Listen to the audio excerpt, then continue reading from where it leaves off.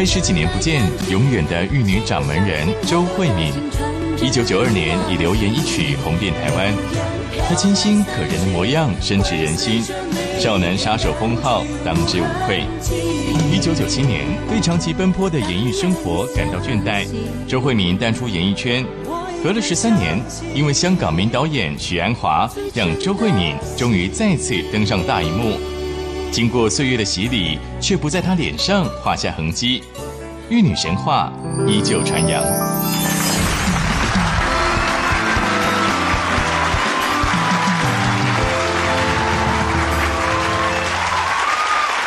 今天我非常的盛装，因为今天我有两位传奇性的女性来到我的节目，一位是永远的玉女，另外一位可以说是在华人界非常有影响力的女性导演之一。只要她导的片子，不是男主角得奖就是女主角得奖，就她自己得奖就是片子得奖。她导的电影很多都是讲我们身边的事情。最近她导了一部电影叫做《大喊炒饭》。没意思啊，炒饭啊！好，我们来看一听导演还有女主角的讲法。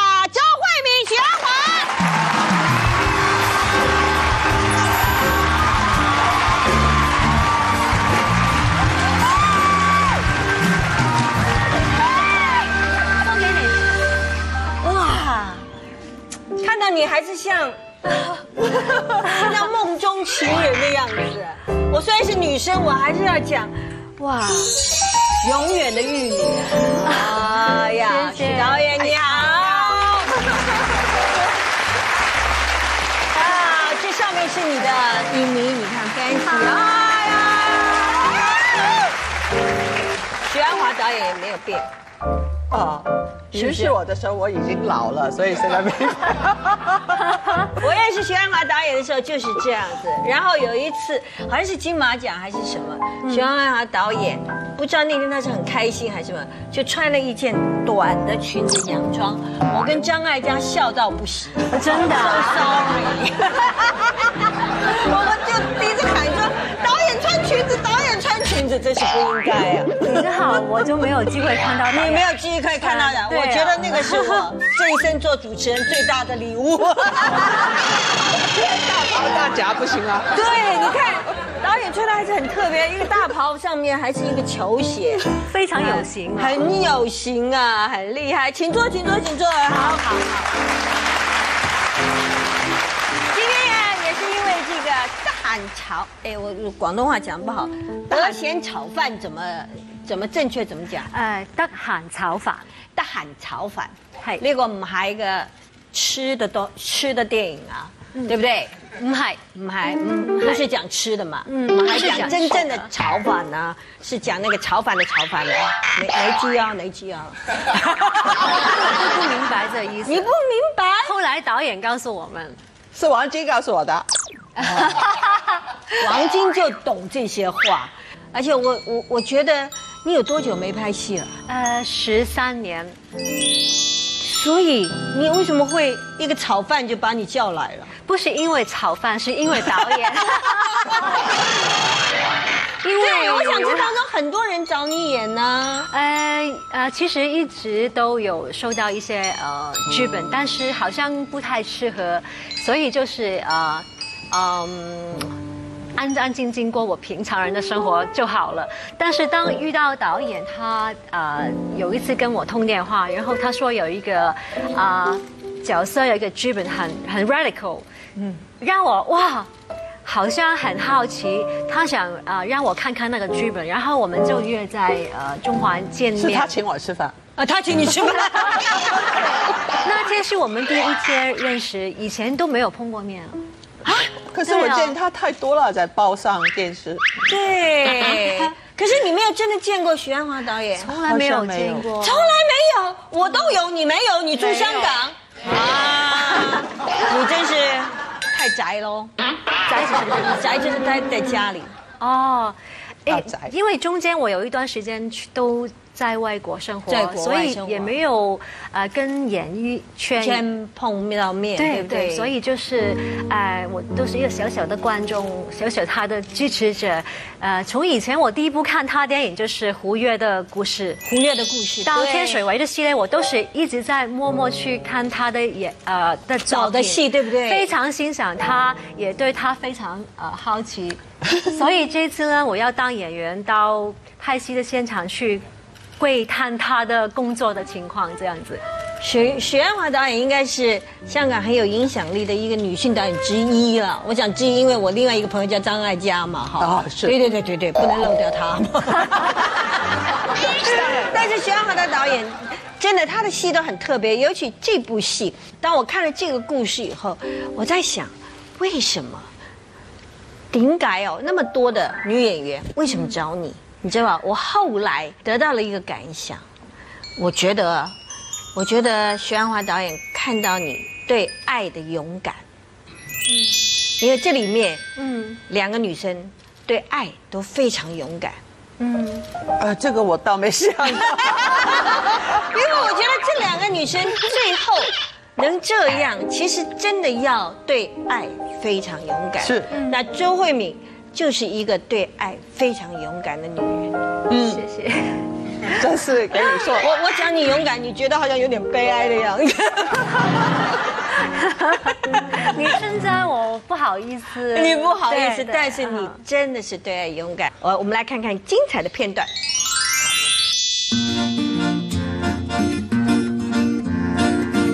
感情玩唔起，唯有得閒上下網識下人出嚟玩下。我有乜 sex on the beach？去沙灘打野戰，你 玩到咁激嘅？我好學下濕文啊！着雲全身。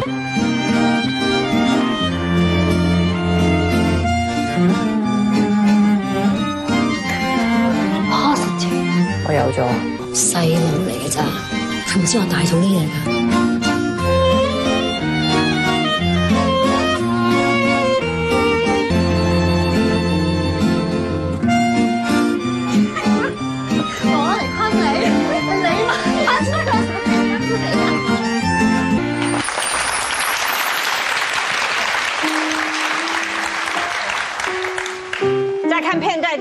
嘴巴没有合起来过。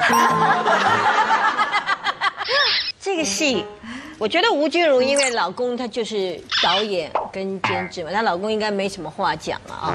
你担心我的老公？对，你的老公，我觉得你老公应该不太能够适应吧。真的我很很开心，除了跟呃导演一起合作，跟君如也认识好久，但是真的没有机会跟他真正去演演出合作我。想真正的要接吻也不容易吧。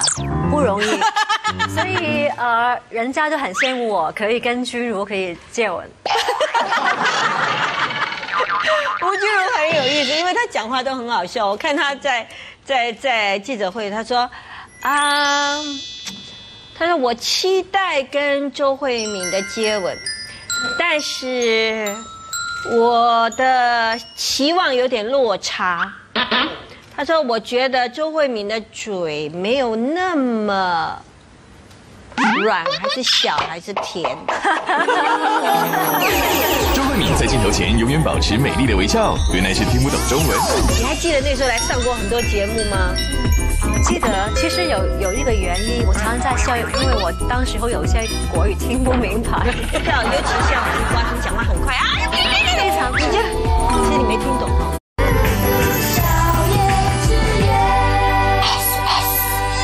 后来他他说哦，好啦，我知啦，因为我不是倪震嘛，我没有办法感受那个很甜很美的感觉啦，所以他实在很逗哈。你老公看了吗？有啊，我跟他去呃戏园里面看的。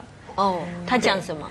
他都没有讲什么，我就啊、你说那段接吻接吻戏啊，哎，我没有特别去看他的反应，因为我都很投入去看，我忘记了他留意他那整个戏拍完以后，他讲什么？他他没有说什么，但是他跟我去电影院看，你知道吗？我们认识了二十一年，他从来没有跟我去电影院看我的电影，没有吗这个是第一次，所以已第一次哦，他虽然没有说什么，但是行动已经说明他非常的支持我。Oh, that's good. 咕嘟咕嘟我在想，其实周慧敏，我们认得她的，你知道，刚刚我们还在讲说，哇，周慧敏这一样没有变呢，还有，你知道我们刚刚在讲这个周慧敏当时有多红啊？他们就说，小燕姐，你你知你知不知道什么挡泥板是不是？她说你知不知道？小燕姐，你知不知道挡泥板这件事情？我说为什么要挡泥板？你看，我觉得好，台湾的摩托车都有挡泥板，挡泥板上面都是摆他们最爱的女生的照片，所以那时候你的照片都在那个挡泥板上面。真的啊，对。啊，骑摩托车的男生那个挡泥板是不是？都都是叮当叮叮叮叮叮叮叮叮叮非常荣幸，非常荣幸。但。是现在才知道，现在才知道，真的，他们说那个时候女孩子哦，都很多男生的挡泥板，那时候在台湾都是周慧敏，然后那个照片，你也没有变呐、你也很厉害呀、谢谢。真的啊，我我我觉得，我相信电视机很多人都会想说，这个周慧敏为什么会，你你看到她，你一直看到她，对不对？你觉得她有变吗？她好像变漂亮了。变开心了。变开心。哦，好来，变开心了。我觉得，我觉得做一个艺人，常常不开心的时候，就是不能讲，不能公开，不能承认，或者是不要躲避。嗯，可能心态上也改变了很多，因为呃，我呃有一段时间呃没有再当艺人，去了外国去生活。我觉得我重新去认识了我自己，了解我自己的需要，然后责任等等，然后找到一个很适合我自己的生活方式。虽然现在再回到演艺圈工作，但是心态改变了，都放下了明星的包袱这样子，然后就随着自己的价值观跟追求去生活，面对媒体，面对工作。面对生活，所以这样子，我觉得我机动性就多了，然后啊、人就更加去啊、享受生活。哎，其实以前啊，我觉得做美女蛮蛮辛苦的哈。导演，我跟你，我们俩一直点头，实在是实在是自己，我们怎么了解人家美女的心情？只好只好说，哎，我觉得美女很辛苦，但是我我是觉得他们有很多的很多的禁忌，不是说禁忌，就是说，呃，我希望人家都看到我最好的一面。嗯嗯，不像我们有的时候拉拉他出去，反正我就是小燕姐啦，我不我我无所谓啦，这只有录影的时候穿的像真的一样的，其他的时候都是很很随性的。我也是穿这样子啊，但我没有穿袍子啊，我穿牛仔裤，我跟你一样，我平常都是呃牛仔裤，然后球鞋。球鞋对不对？对对对，所以我今天很不舒服，穿高跟鞋，好高跟我不懂去走路。呃，其实慧敏那个时候刚到台湾来的时候，我们都都觉得她像个瓷娃娃，好像那个没办法碰她一样的。哦，好漂亮哦，然后，哎呦，好漂亮，她随时都。你还记得那时候来上过很多节目吗？嗯啊，记得其实有有一个原因，我常常在笑，因为我当时候有一些国语听不明白。对，现在好像听的听的听的多一点好像好一点点。对，因为他每次都笑一笑，尤其像胡瓜他们讲话很快啊，非常快你这，其实你没听懂哈。啊，所以我越笑多就越不明白。好，现在我们也来找到一些你早期上节目，我们来回味一下。真的啊哎，对对对对。好，好，来看看。勇敢去看。我们一起来欢迎这位香港四大女天王之一的周慧敏小姐。你好，你好，你好，你好。哎呀，哎呀呀，哎呀。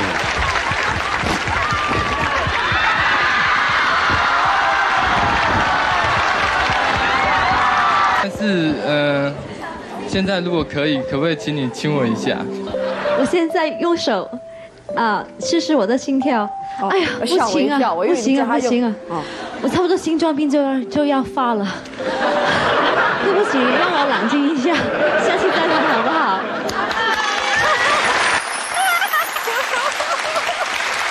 哇，很多年前我都忘记了。很多年前，对不对？对对那个时候你想，多少人排队来等着，就说能不能让你亲一下，随便让你亲的。当很多人的梦中情人，可是碰到自己情人的时候，就就很为难了。哎，不会啊，没有什么需要为难，对不对？碰到自己的情人，对啊，为什么要为难呢？没有啊，我们翻开周慧敏的恋爱史，真的是都没有什么，对不对？对。没有经验，对不对？一九八九年认识一个人，就一直到现在，对，这有什么好说的嘞？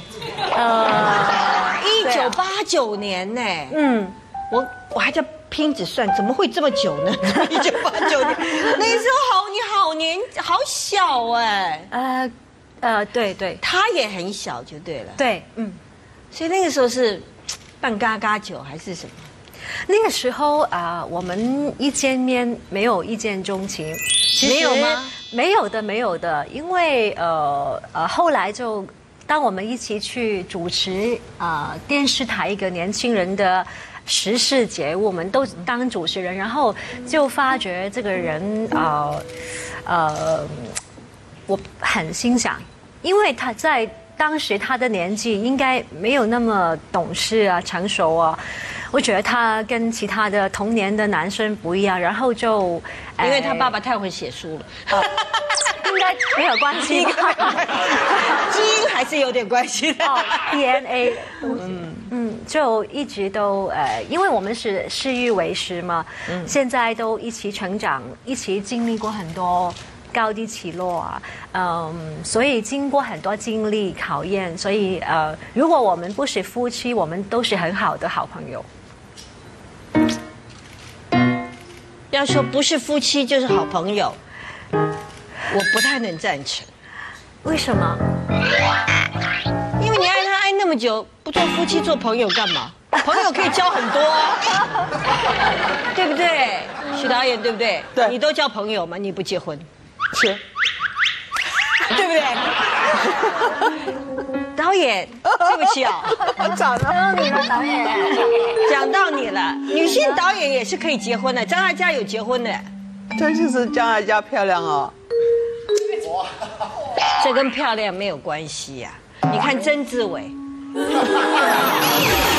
黄金与许鞍华互骂对方，小燕姐力挺到底。他好像有骂过你，你也骂过他对，他，你们相骂才相识是不是？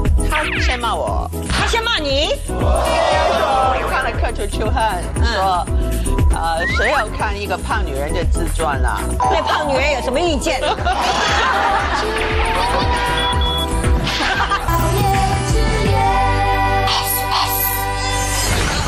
这男女真的不公平吗？是，所以要拍这个电影，哦，海妈，是。你是这个心情吗？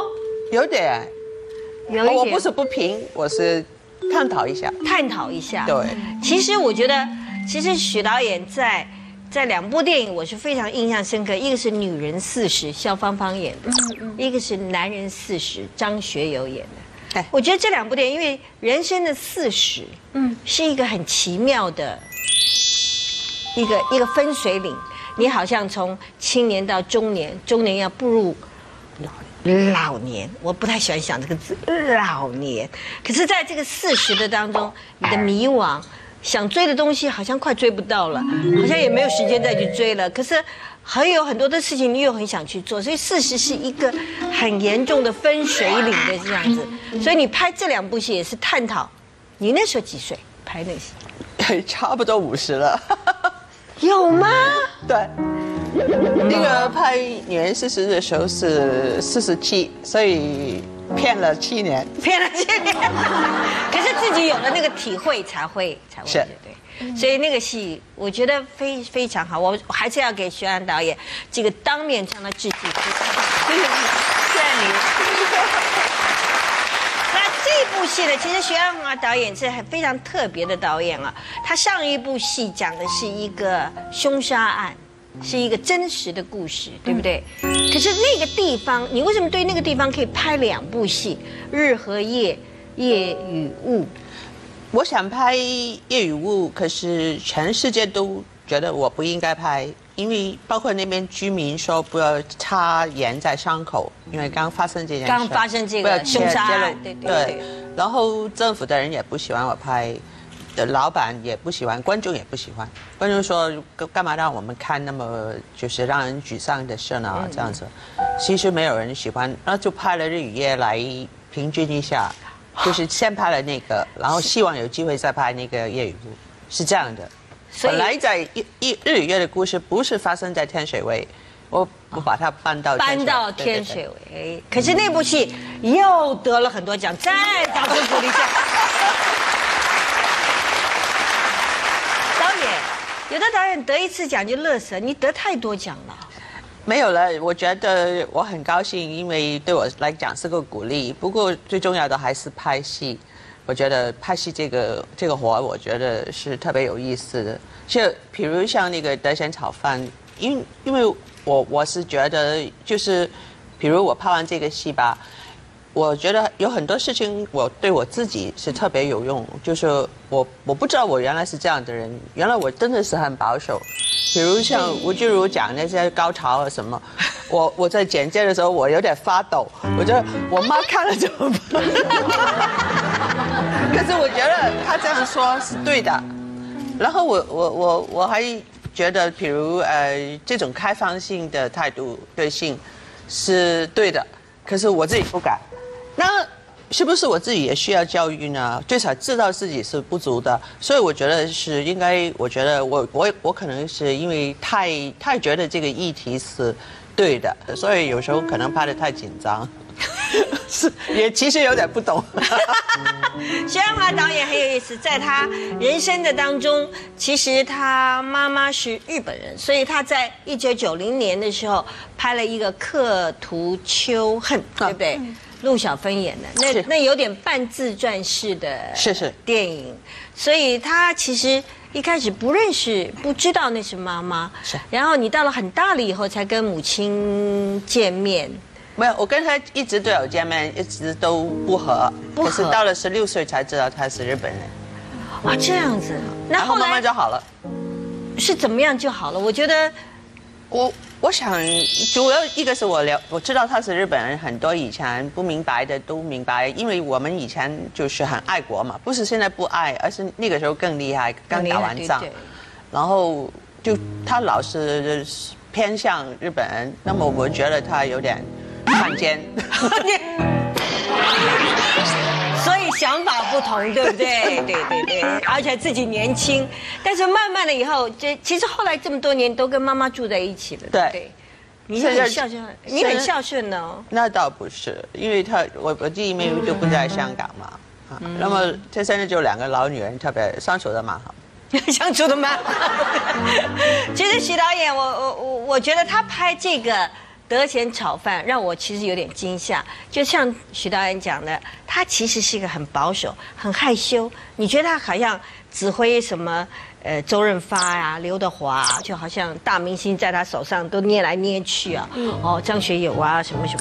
但其实他是一个，你觉得他好像有点像小孩，又有点内心有一点纯真。真的，我也发现是不是？你有没有发现？因为导演当了这个呃行业已经那么多年，我我我还没认识他以前，以为他会比较老练这一种的的女女强人。嗯但是当我跟他合作过以后，我发觉他很有嗯啊、赤子赤子之心对，嗯因为他在。他非常 humble 的，很谦虚，谦虚的，呃然后他。他好像永远都保持这个调节跟吸收的能力，所以怪不得他这么多年都那么有创作力。所以他的团队每一个人都非常爱他，然后让我的这个，呃，因为我当做我自己好像新人，因为好久没有拍戏，到现场我都没有没有压力、没有害怕的感觉，好像一个很安全的地方，让一个很私心的人去保护着，所以非常幸福那个感觉。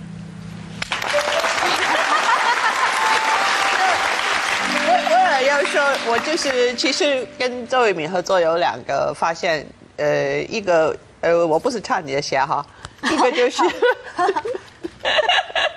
就我不是说刚开始的时候觉得很神秘嘛，嗯，然后跟他呃相处呢，才发现原来我觉得他的脑袋比他的样子更好。哦，其实特别特别有脑脑筋，对，嗯，我真的，我告诉你，美女真的所以怪不得可以漂亮那么久。对内在跟外在外在一样的，对不对？婚后老公绑住跑不掉，周慧敏接戏尺度大开。你不觉得吗？人结婚了以后会更开放，会的。你没结婚前一定不敢接这个角色。嗯？对不对？好，因为呃，结婚之后就很喜欢哎，这倒也是一个 今天在我的节目中，电影界的两位很特殊的女性，许鞍华导演、周慧敏。许鞍华导演导了很多很奇特的电影，很会得奖的电影，很有内涵的电影。周慧敏的感情世界，就像徐安华讲的，一直很有神秘感。我们来听听她说。而且我觉得，为什么我要说她是勇敢的女人？我想在两千零八年的时候，大家都知道这个周慧敏经历在她感情上一个很重大的抉择。嗯，但最重大的抉择是让大家眼珠都掉下来，就说她要宣布要结婚了。嗯，我觉得你很勇敢呢。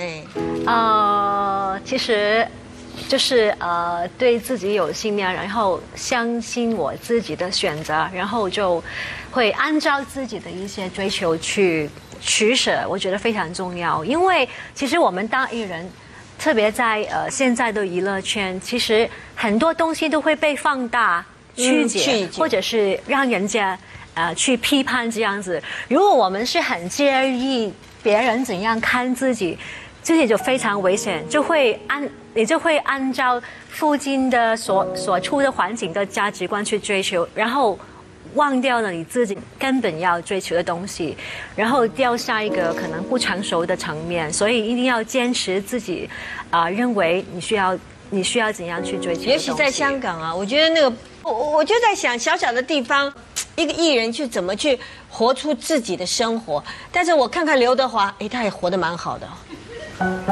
哇塞，厉害！这次 MV 是你帮他拍的吗？我跟另外一位导演合作合作的是哦还可以吧？很棒啊！他三十年啊，对不对？他，哎，他真的没有变了哈，他也非是常厉害，他非常厉害。对，我觉得我们应该成立一个这种，当然不是一个妖怪公司了，就是说 不变公司。怎么样人？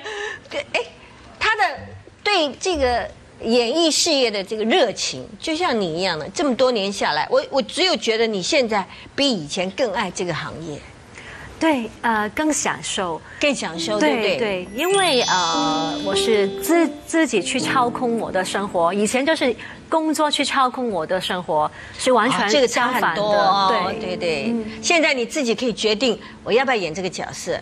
这个角色虽然她会怀孕，会有床戏，会洗澡，会亲吻，对不对？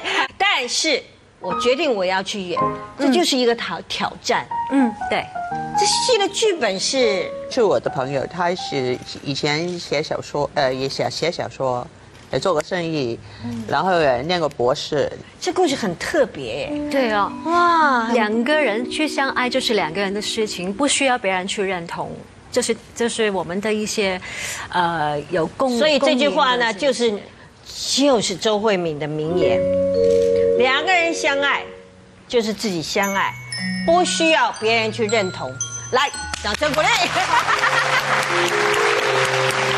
二零零九，周慧敏就把她自己用这样最好的事情告诉了别人。那个时候，我虽然在台湾，我看到了，我很替你高兴。谢谢。我觉得一个女人就是要认清自己要什么。如果你要，你也要付出，对不对？然后你要要去勇敢的要，然后不要后悔，而且不要受别人的影响。你看中谁，我要你就是要你，只是 那个男人跑掉。但我觉得男人其实有的时候太年轻认识他，他他其其实会比较像小孩，会不会？哎，我认识我的先生，他的年轻的时候，他也很很成熟，他从来都没有让我的感觉像像过一个小孩子，所以他其实跟其他的男性还是不一样的。你看他讲到他还是很甜美啊，他就是跟别人不一样。你们要不要生小孩啊？呃，暂时都没有这个生小孩的的的公式，因为我们就是觉得，嗯，我们呃现在现在的状况很好，不想去改变，也觉得我们不需要小孩子，已经是多年来的共共识。哦，真的哦。对。哇。这也要勇敢啦，不然别人讲讲你要不要生，要不要生，好好生吧，对不对？对，这也是要。我还记得你前一阵子讲说，明年就是你二十五周年进入，对啊，对对对，哇，很快啊！所以你要有什么样的活动吗？啊，明年我先先呃会呃呃决定在香港的红磡体育馆就开演唱会。开演唱会，因为真的很想跟呃一直以来支持我的歌迷，他们去做一件呃他们开心的事情，让我们有一个很特别的回忆。他们看到你都是这样，会不会听不懂我的国语才这样子？不会，不会。我觉得歌迷很有意思，就是当你。发生什么事情的时候，他的心就跟你在一起的。我觉得他们哭的最伤心的是你不干了之后，哦，你走了，出国了，他觉得心里，我觉得你粉丝都会觉得说啊，你就不管我们了，你就走了。我觉得那个时候是他们最伤心的。但是我告诉你，反而我我离开了香港以后，跟他们更密密切，因为大概在九六九七年就开始有互联网。哦所以他们就会为我做一些关于我的网站，然后我就呃主动去找人去联络他们，然后我们就常常开始在网上有一些交流，好像一起成长，一些很好的呃精神伴侣的感觉一样。所以我想他们就是我身边的守护的守护星，谢谢你们哦。有的男生，我想喜欢你的时候，他很小，现在都大了，二十五年嘞，对不对？太不容易，太不容易，太不容易。你看，刚刚我听的这个留言，我想，哎，那个时候你是跟林龙璇唱，对不对？哇，时间真的过得很快。你看，华仔都三十年了，所以在香港这个这个，我在想，许导演肯定也有很多的感触，比如说。当你在拍周润发的时候，你前一阵子拍他的那个姨妈姨妈的后现代生活，那他 那他他已经是好莱坞的大明星，他有不一样吗？哎呦，我真是很高兴。比如，呃，我我跟周润发再见二十年，我发现他进步了好多。进步了好多，就是他其实对于剧本的理解啊，就整个想法就像一个监制跟导演，就是全盘的。然后华仔也是啊，我就觉得，可是导演高兴，对不对？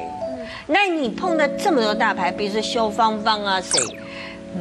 嗯，哎，你是好人呢，你不会讲人家哪个最难搞？他很坦白的，他的他非常坦白的，他的自传。就是他，他一个不小心，一个不小心就这样。我还我还记得这部戏的投资人是王晶，对不对？王晶王导演是。我王晶王导演呢，是跟朱延平导演一样，都是拍的很喜闹的电影，带给人家开心的。我想他，其实那个时候，他好像有骂过你，你也骂过他。对。你们相骂才相视，是不是？他先骂我，他先骂你。我说说。就一个不不说这哎说吧，他说，他跟人家说看了《刻骨秋恨》，说，呃，谁要看一个胖女人的自传啦？就是我就很生气，对胖女人有什么意见？你也是一个胖男人的，所以后来我找到机会，我就是说他拍戏拍的太烂，他拍东西太烂烂拍，就不是烂是是。乱拍，乱拍的太多，拍的太多啊！然后本本来准备开战，然后突然他就不是道歉，而是说呃很佩服我，就没事了。然后我就很不好意思，你就觉得很不好意思。我觉得就第一次不不应该骂人，呃，公然的骂人，我这是第一次。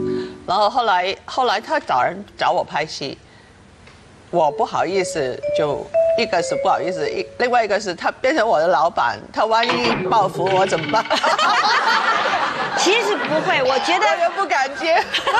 没有，我我觉得王晶导演其实他自己拍了很多很好笑的电影啊，很好玩的电影。但是我在想，其实做一个导演，他其实很希望能够尝试拍一些不同口味的电影，但是不一定每一个人都适合拍那样电影。也许他的个性不适合，他觉得说你很适合，所以他就支持你。这现在我我一个是我对他简直是感激，因为他支持的这几部戏其实是是找不到老板的。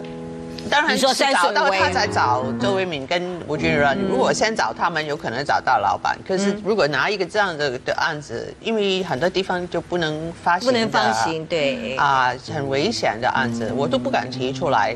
跟然然后他就义无反顾的就就说拍了，拍的时候也没有说要这样要那样这样子，我我很感激的。好，我我再。不过王晶导演，我想一个人在呃电影界呃很久，都会希望，就像就像曾志伟一样，他曾宝仪啊，他们也是开始找很多年轻人呐、或者是找很多的新的导演啊，去拍一些新的戏，包括华仔都是一样。我觉得大家都都有这个理想，说想去尝试为电影，就是华语片，现在已经不是香。不是港片，或者是台湾电影，或者中国电影，华语片能够拍出更多的这个好看的电影。我觉得现在来讲，题材可其实是可以更多更好。所以周慧敏这次，我想，哇，好大的进步，你不觉得吗？人结婚了以后会更开放，会吗？会的。你没结婚前一定不敢接这个角色。嗯，可能会吧。对不对？怕，因为呃，结婚以后就不怕老公跑掉，对不对？哎，这倒也是一个说法。我说笑而已，说笑而已，说笑而已，说笑而已。不过我在想，一个人可以在呃两个人相处，我我一直在想说，两个人相处二十几年，那个感情其实不是外面人可以了解对不对？认同。对不对？常常很多人在讲说啊，你们为什么在一起呀？你们为什么在一起？所以其实，嗯，就像我们看徐克施南生，他们这一对很特别哦。施南生那个那个样子，嗯，哦，对不对？那个那个徐克这样子，施南生哇啦，可是他们也是个绝配，对不对？所以我觉得感情的世界里头是。是非常非常难说的。如果一辈子能找到志同道合的，现在你跟他两个人也可以一起创业，一起做一些。其实他的生意我都没有参与了。你没有参与，你比他，你你很聪明啊。啊，不是我，我不聪明，对，因为其实呃，生意的东西我也不太了解，也不没有没有本领去管，所以我想我们就是喜屋爱屋可能。不一样，呃，但是我们的价值观就是相同的，相同，所以，所以我们就这么多年也可以在一起生活的很舒服，就是这个原因。更重要是你公公太爱你了，公公真的很可爱。我们有我们的有这样的父母，真的。我我要介绍他公公就是倪匡，会写那个科幻小说的。其实，我觉得。周慧敏结了婚以后，然后我看到你出现很多的地方，越来越漂亮，而且能够拍这个戏，跟徐万华导演，希望明年可以得奖了。没有想这些了，没有想这些，只要拍就开心，对对不对？对，我我觉得今天真的是很开心。下次吴君如，哎，吴君如有小孩，她真的是什么戏都敢拍哈。对啊，是不是？是。我很佩服他哎，不过有一个是因为呃，君如跟魏周呃魏敏的两位的那个形象都太好了，嗯就是如果他做什么，人家都会相信是正面的。正面的，对吧？不过这个电影其实，我我一直觉得有有一些事情，尤其在现在来讲，有一些父母或者有小孩的人，或者有一些在谈恋爱的人，应该用比较正确的观念。我觉得相处好，才是这一个人生在世没有多少时间，相处快乐非常重要。嗯，自己给自己鼓掌。今天很开心，其实他们也是刚刚下飞机来这里。其实徐安华导演说，我最怕接受访问了。我说过吗？你你报纸上登的，我都看过。己讲自己电影，好害怕。其实我可以想得到的。哦，今天很开心，今天很开心。我们希望许导演一直有很好的作品。其实你要拍《女人六十》的话，我非常适合。没有吧？您真是太小看我了，我跟你是一样的。不会啦，你比我一定比我年轻。我我记得你很小，我 我很想那时是当童星，你也是童星啊。我们俩是差不多的，所以你准备要拍《女人六十》的时候，我当然在这等你啊。谢谢，谢谢。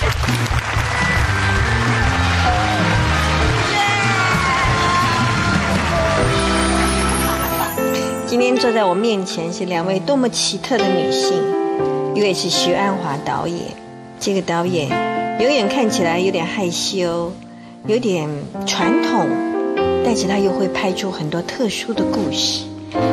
在他的一生当中，没有结婚，也没有听说他谈恋爱，但是他的恋爱故事拍得非常的美。周慧敏，一个看起来像漫画小说中的永远的玉女。今天坐在我面前，美丽依旧，可是更聪明、更勇敢。他们俩一起合作的《德贤炒饭》，是一部很特别的电影。吴君如、许鞍华、周慧敏这三位女性，会德贤做出些什么事情来呢？我想你一定要看电影才会知道。今天非常谢谢他们两位。周慧敏明年就是二十五年，希望她在二十五年。能到台湾来继续唱歌给我们听，谢谢许导演，小燕之夜，明天见。